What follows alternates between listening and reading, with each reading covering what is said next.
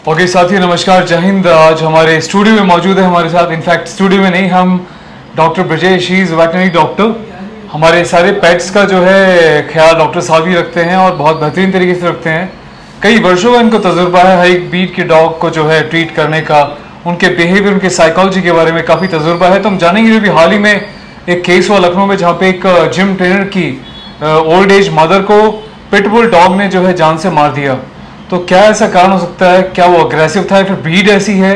या क्या ऐसे फैक्टर्स रहे होंगे? खुद हम जाना चाहेंगे। मुझे भी तमाम वर्षों का एक्सपीरियंस डॉग रखने का, जैसे आपने हमारे सभी फैमिली पैट्स देखे हुए हैं। उसके साथ साथ एक वेटनरी डॉक्टर का क्या तजुर्बा, मेरे क्या तजुर्बा है, उसको हम, आपके साथ सामने रखने का प्रयास करेंगे। पहले डॉक्टर साहब, सबसे पहले आपका स्वागत है अपने चैनल रॉयल सोजर पर।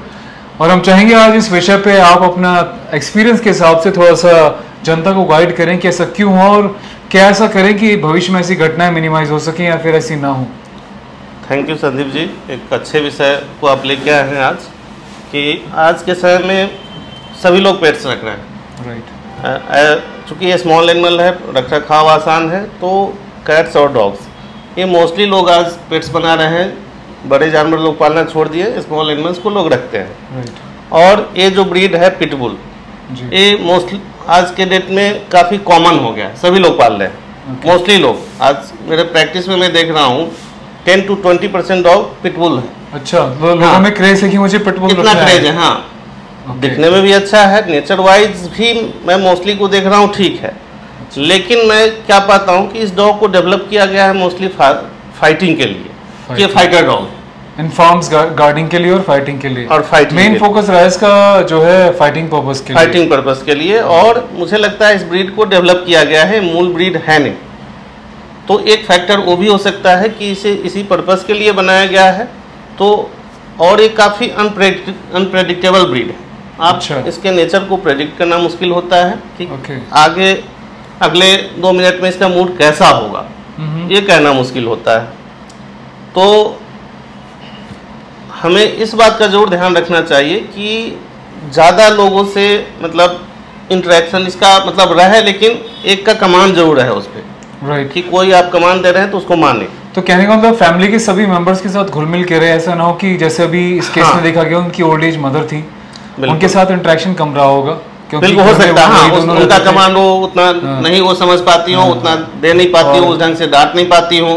और मेरा मानना है कि जब घर में ओल्ड एज पेरेंट हो और आप गार्डिंग डॉग रख रहे हैं तो और बच्चे कि बच्चों हाँ, के साथ भी उस तरह से एकदम नहीं छोड़ना। Right. क्योंकि पहले भी मैं एक एपिसोड देखा हूँ तीन चार साल पहले की बात है ओके कि एक बच्चे को मार दिया था। अच्छा, जान से हाँ, मार दिया? हाँ जान से मार दिया। कहीं तो- इधर और एक गाय को दो साल पहले पंजाब में मार दिया. पहले देखा। पिटबुल नहीं। वो एक बार उसका लॉक हो जाता है जॉ अच्छा। तो फिर वो जल्दी छोड़ता नहीं क्योंकि उसका अच्छा। इंस्टिंक्ट ही फाइटिंग वाली है। ओके तो देखिए अब तक हमने कॉमन सी बात सुनी थी कि जब पिटबुल जैसी ब्रीड पकड़ती लॉक हो जाता है तो उसका कुछ बायोलॉजिकल फंडा मेरी समझ में आता है। तो डॉक्टर साहब कह रहे हैं तो डेफिनेटली कुछ ना कुछ रीज़न ऐसा रहता होगा। बाकी डॉक्टर साहब मुझे लगता है कि as as an animal lover और जैसे पेट्स हमारे आप देखते हैं कितने सालों से आप ट्रीट कर रहे हैं उनको। तो मुझे लगता है कि जब भी आप घर में एक डॉग लेकर आए तो अपनी एक देख एक एक तोता लगाओ बच्चे की तरह चाहे वो पिटबुल हो चाहे डोबरमैन हो या फिर एक अपना देसी इंडियन डॉग हो या छोटा पोमेरियन हो हिसाब से कोई भी ब्रीड हो उसके साथ एक लगाव तो बच्चे जैसा हो जाता वो तो लेकिन सब सेम है। लेकिन मैं बोलूँ कि यार मुझे एक लगाव की वजह से मैं एक हाथी पाल लूँ और एक छोटा बिल्ली पाल लूँ तो दोनों में बहुत फ़र्क है नेचर में बिहेवियर में। तो ठीक इसी तरीके से भले डॉग हो पर डॉग का ब्रीड वाइज बिहेवियर भी सर बहुत मुझे लगता है कि डिफरेंट डिफरेंट टाइप का होता है। रॉट वायलर और पिटबुल इसको एग्रेसिव ही माना गया है और तमाम जगहों पे देखते हैं कि एक बार अगर इसका दूसरे डॉग से फाइट हो जाए हम्म। तो एकदम मरने मारने मारने पे उतारू होता है कि जब तक उस उसको किल ना कर दे तब तक छोड़ता नहीं। अच्छा। ऐसा इसका इंस्टिंक्ट है। तो आप एज ए डॉक्टर जो आपके क्लिनिक में तो सारे लोग आते हैं अपने अपने डॉग्स को लेकर आते हैं तो आप क्या प्रिकॉशन बरतते हैं जब कोई rottweiler doberman German shepherd या पिटबुल जैसे डॉग को लेकर आता है। क्योंकि मैं ये कोशिश करता हूँ कि वो हैंडल जो उसके ऑनर है वही करें। मैं उसको ट्रीट ट्रीटमेंट उसका उसको दूँ लेकिन हैंडलर एज ए हैंडलर वही रहे। अच्छा। क्योंकि उनसे उनका इंटरेक्शन है। अच्छा तो पहले मसल वगैरह लगवा हैं। पहले अप्लाई करवा देते हैं और आप पकड़ो ताकि वो उनसे फैमिलियर रहे उनके कंट्रोल में रहे उनका कमांड सुनता रहे और फिर मैं उसका एग्जामिन कर लेता हूँ और सर यूएस में इस ब्रीड को बैन किया हुआ है। काफ़ी सारे केसेस हैं। बहुत लोगों की जान ले चुका है। अभी हाल ही में एक यंग लड़की थी was just twenty three year old. उसने अपने एक फ्रेंड के पिटबुल को पास बैठ के हल्का सा प्यार किया। उसके दोनों लिप्स जो हैं पूरे उखाड़ दिए उसने। इतनी सुंदर लड़की थी बेचारी वो अभी सर्जरी करवा रही है पूरे टाइम से। नहीं ये तो तमाम ऐसे इंसिडेंट मुझे लगता है कि मैं बच्चों को एक बात और बोलना चाहूँगा कि आप भली पैट लवर हो। आप ये नहीं कि पिटबुल किसी भी डॉग के पास यदि आप जाते हैं तो ये ना सोचें कि वो बहुत फ्रेंडली होगा। उसके पास जाते हैं आप प्यार करते हैं अच्छी बात है लेकिन हर किसी डॉग का बिहेवियर एक जैसा नहीं होता। तो किसी भी फ्रेंड के रिलेटिव के या किसी अननोन डॉग के पास ऐसे ही जाके प्यार ना करने लगे कुछ नहीं पता उसका बिहेवियर कैसा है फ्रेंडली है कि फ्रेंडली नहीं है। वो कब क्या करते हैं तो आपको भी अलर्ट रहना बहुत ज़्यादा ज़रूरी सर इस पर्टिकुलर मामले की हम बात करें इस पिटबुल वाले केस की जहाँ पे लखनऊ में उस जिम ट्रेनर की माता जी को जान से मार दी पब्लिक रही पत्थर मारते रहे तो मुझे लगता है कि पत्थर मारने से और ज़्यादा अग्रेसिव भी होता है। और वो छोड़ते ही नहीं। और मुझे पर्सनली ऐसा लगता है कि सर जब क्योंकि मेरे आप जानते हैं तीन पेट्स को आप टेक केयर करते हैं तीन हमारे इंडियन ब्रीड्स हैं और तीन वो हैं दो एक जर्मन शेपर्ड दो डोबरमैन डोबरमैन को काफ़ी खतरनाक ब्रीड लोग समझते हैं पर मेरा बच्चे उसके जो है साथ में बैठते हैं साथ में बच्चों के सोता है बचपन से वो तो हमारे साथ ऐसा कुछ भी नहीं नहीं बिल्कुल तो काफ़ी अपब्रिंगिंग पे भी बहुत डिपेंड करता है कि आपने अपने डॉग को कैसे अपब्रिंगिंग की है। और वो सर ये तो आप जानते हैं कि बाहर वालों के साथ वो भी बहुत अग्रेसिव है। लेकिन एटलीस्ट फैमिली मेंबर्स के साथ ऐसा कुछ भी नहीं है। तो डॉग को जो है सिर्फ़ घर में घर में लाके डाइट खाना देने के अलावा उसके साथ टाइम स्पेंड करना ज़रूरी है। उसका सोशलाइजेशन भी बहुत ज़रूरी है। जी। और सोशलाइजेशन भी हमें इस ढंग से करना है कि ब्रीड कैसा है। Right. उसके माइंडसेट के अनुसार सोशलाइज करना है। वेरी ट्रू हम उसे एकदम से छोड़ नहीं सकते कि hmm. कोई भी उसे हैंडल कर लेगा। No we should not do like that right और दूसरा एक चीज़ और है कि ये जो पर्टिकुलर इंसिडेंस हुआ है ये फीमेल है। फीमेल हाँ। का एक फैक्टर ये होता है कि वो पीरियोडिकली हिट पे आती है। जी। वो मीटिंग के लिए उनका मीटिंग के लिए अर्ज़ होता है कि बाहर जाने वाले हैं। तो एक फैक्टर वो भी हो सकता है। अब पता नहीं उस अच्छा। डॉग के साथ वो हिट पे आई थी या कब आई थी मुझे नहीं पता। अब डॉक्टर गए हैं एक्सपर्ट्स उसको देखेंगे कि ये भी एक फैक्टर था या नहीं था। ज़रूर वो देखेंगे लखनऊ में इंसिडेंस हुआ है। तो ये भी देखना है कि उस समय आपको अलग उसका बिहेवियर होता है और अलग ढंग से हैंडल करना होता है। वेरी ट्रू और सेम तो मेल के साथ भी ऐसा मेल के। साथ भी नहीं मेल तो हमेशा सेम है लेकिन अगर फीमेल हिट पे आई है तो मेल का बिहेवियर बदल जाएगा। एग्जैक्टली भाई और फीमेल का भी मेल का मैं बिहेवियर देखता हूँ जब आती है वो तो उसका जो बिहेवियर बहुत ही ज़्यादा चेंज हो जाता है। बिल्कुल चेंज हो जाएगा क्योंकि ये हार्मोनल तो मुझे लगता है सर जब वो इस टाइप से अपने पीरियोडिकल साइकिल में जब आई होगी हम्म। तो या तो काफ़ी टाइम से उसकी मीटिंग ना कराई हो हो सकता है, एग्रेशन रहा हो, बिल्कुल। और मैंने सुना था वो जब घर में कोई बैल बजती थी तो डेफिनेटली हर एक डॉग बाहर जाना है ऐसा सोच कि अभी मैं सोच बाहर जाऊँ और आज़ादी से शायद डॉग के साथ किसी के साथ घूमू या हम्म। मेट जो भी है तो ये भी साइकोलॉजिकल फैक्टर्स हो सकते हैं डॉक्टर के डॉग के। और घर में एक बार क्या होता है कि वो ओल्ड एज लोग हैं उसको धुतकारते हैं। हम्म, हम्म। घर में दो लोग तो बहुत प्यार कर रहे हैं पर कई बार कुछ लोग जो है धुतकारते हैं साइड में करते हैं। तो डॉग मौका देखता है कि जो होल्डिंग जो मेन कमांडिंग वाला जो ओनर बिल्कुल है आपका पॉइंट बिल्कुल जेन्युइन हाँ। है कि एज ए ओल्ड लेडी उन्हें वो पसंद नहीं रहा हो या कभी Right. उस ढंग से प्यार नहीं की हो। राइट और उनका बेटा वो वो तो खैर काफ़ी ज़्यादा लग रहे हैं कि काफ़ी लोग लवर है। तो एक फैक्टर ये हो सकता है। तो ये सब कुछ देखते हुए मैं डॉग के साथ तो घर में शायद मुझे लगता है कि आप तभी डॉग लाएँ जब आपकी फैमिली में सब लोग अग्री हों और उसको प्यार करें। ये ना हो कि आपकी पसंद है आप ले आए आप मैरिड हैं आपकी वाइफ प्यार नहीं कर रही है या आपके घर में आपके पेरेंट्स प्यार नहीं कर रहे हैं आपने शौक के लिए तो ले आए हैं लेकिन आप उसको बच्चे का सोचिए जिसको आप बच्चे की तरह लाए हैं उसको बच्चे जैसा प्यार नहीं मिलेगा तो फिर कहीं ना कहीं उसके अंदर अग्रेशन और फिर इतना बड़ा इंसिडेंट हो जाए जो फिर रिवर्सिबल है। अनएक्सपेक्टेड बिल्कुल। अनएक्सपेक्टेड तो हमें उस सब चीज़ों का ध्यान रखना चाहिए। राइट कि डॉग का माइंडसेट क्या है डॉग का ब्रीड क्या है डॉग का नेचर क्या है फिर एज ए फीमेल डॉग उसका क्या टाइम टू टाइम चेंज होता है तो ये सारा कुछ का ध्यान रखना है और तभी हमें उसे हैंडल करना है उसी ढंग से ये सब सोच के चलना सर है। डोमेस्टिक यू घरों में जो है आमतौर पर जो काफ़ी क्राउडेड एरियाज़ में रहते हैं जो फार्म्स वगैरह में नहीं रहते मुझे लगता है कि वो एक नॉर्मल ब्रीड भी पा सकते हैं। लेब्रा हो गया फ्रेंडली डॉग हो गया बिल्कुल। पमेरियन हो गया नॉर्मल हमारा इंडियन ब्रीड बहुत अच्छा है आप जी। अपना देसी कुत्ता पालो ना। बहुत अच्छा है। बिल्कुल अब देखो मेरे पास भले तीन ब्रीड हो आप जानते हैं तीन हमारे इंडियन डॉग्स भी हैं। वो घुल मिल के रहते हैं तो दोनों का अफेक्शन बराबर ही दोनों का प्यार भी बराबर है। तो मुझे लगता है कि आप एक ऐसी है और वो बहुत अच्छे से ट्रेंड है कि नॉन अननोन का उसे बहुत अच्छे से पता है। नॉन के साथ बिल्कुल फ्रेंडली है कुछ भी नहीं कहेगा। अच्छा। और अननोन पे अटैक करेगा। देसी तो आपके देसी है। हाँ। देखो डॉक्टर साहब ने खुद जो है अपने देसी इंडियन डॉग्स को अडॉप्ट किया हुआ है। इसी के लिए मैं बहुत अप्रिशिएट भी करता हूँ और ये भी कहते हैं क्यों नहीं भाई हम क्यों ब्रीड्स पालें? इनको तो बहुत लोग फ्री में दे जाते हैं। लेकिन ये रखते ही नहीं कहते मेरे तो देसी ही बढ़िया हमने देसी बच्चों को कोई नहीं पालता उनको पालना चाहिए तभी लोगों को इंकरेज भी करते हैं। और दोनों फीमेल है और दोनों स्टरलाइज हैं। हाँ वेरी गुड और अभी हमारी जो फीमेल डॉग्स हैं वो फ्लोरा ने तो कभी बच्चे दिए नहीं उसको भी हम डॉक्टर साहब अभी उसका जो है प्रोसेस करने वाले हैं ताकि वो बच्चे ना दे। और परी ने भी दो बारी बच्चे दे दिए अब दी एंड हो गया दो बारी बहुत है। उसकी हेल्थ को ध्यान में रखते हुए लाइफ में दो बारी बहुत है सर बिल्कुल बिल्कुल। है ना? तो और राइट एज हमने टू इयर्स पे मीटिंग फ़र्स्ट टाइम कराई थी हाँ। रोबो, रोबो पैदा हुआ था। और अब राइट एज है स्टरलाइजेशन का। हाँ, राइट राइट उससे डॉग भी हेल्दी रहता है। हेल्दी रहते और हैं सर आगे उससे अगर उसको हम ये स्टेरिलाइजेशन करा दें तो तो एग्रेशन नहीं आएगा ना उसमें? एग्रेशन नहीं आएगा और कई सारे कॉम्प्लिकेशंस नहीं आएँगे। सपोज़ कोई भी यूट्राइन इन्फेक्शन है पायोमेट्रा है वो नहीं होगा। अच्छा।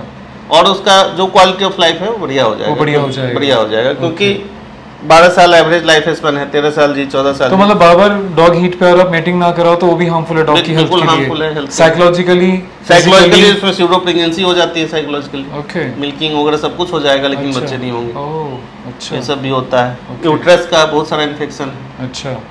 तो आप फीमेल डॉग रख रहे हैं तो कॉम्प्लेक्शन कोई भी नहीं है। ये एक one of the rarest rare case था कि फीमेल डॉग ने किसी इंसान की जान ली मैंने तो सर लाइफ में पहली बार ही सुना है। मैंने सुना था कि मेल ऐसा करते हैं हाँ मेल ज़्यादा एग्रेसिव मान फीमेल करते हैं मुझे अंदाज़ा नहीं था परी की लाइफ एक्सपीरियंस रहा है तो फीमेल को भी आप कम ना समझे कि गार्डिंग में कम है पर अपने डॉग को जो है बचा के रखें संभाल के रखें ताकि औरों के साथ ऐसा कोई हादसा ना हो पाए और उनको टाइम दें एक्सरसाइज कराएँ सोशलाइज रखें टाइम से खाना दें। कई बार मुझे लगता है कि न्यूट्रिशन की कमी भी रही हो डॉग बहुत भूखा भी हो या कुछ ये भी फैक्टर्स हो सकते हैं। हमें नहीं कह रहा ऐसा होगा पर हो भी सकता हो। है सकता है हो सकता ऐसी गार्डिंग ब्रीड जब पेट भर के खाना नहीं खाएगी तो कहते हैं ना कि एक भूखा शेर भी आदम या उसके पसंद का कुछ खाना जो उस दिन नहीं मिला हो ऐसा क्योंकि किसी खास डाइट पे रखते होंगे. और वो नहीं मिला मे बी हो भी सकता है।